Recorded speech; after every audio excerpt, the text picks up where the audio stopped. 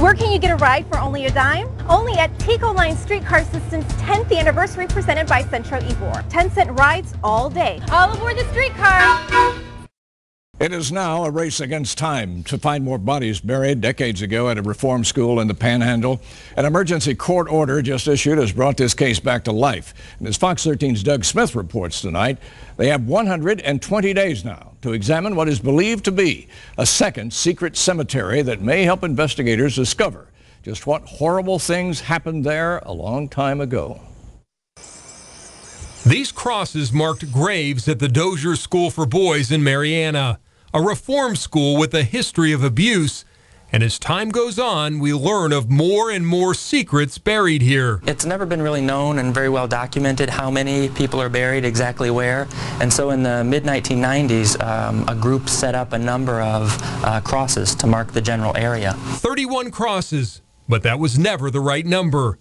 Stories of torture leaked out from boys, now old men, who say they were beaten and abused, like Robert Straley of Clearwater. They don't. The story has received national attention, and some survivors have dubbed themselves the White House Boys because they say this small white building is where they were whipped and beaten. I think they're going to find a lot of bodies. They don't know how many boys really are buried there. Over the summer, USF researchers using ground penetrating radar found more bodies.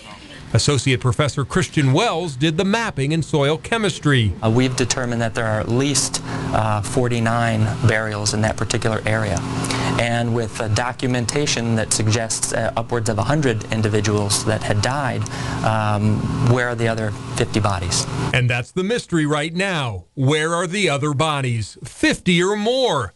The team of researchers came across information indicating a second unmarked cemetery at the school but the state planned to sell the property and they were denied access.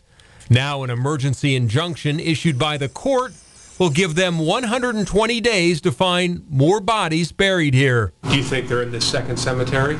Um, most certainly some are, and we anticipate finding between, um, and this is just an, an, an estimate, um, perhaps as many as 20 and 30 um, unmarked graves. FDLE has spent a lot of hours investigating this case and determined that at least 81 boys died while in state custody, John. You know, this is hard to take here. As, as many times as we've heard these little pieces of the story, and, and now it's, it's getting even, even yeah. more uh, incredible to believe. But, you know, law enforcement doesn't always want uh, input from the outside. Are these two together on this?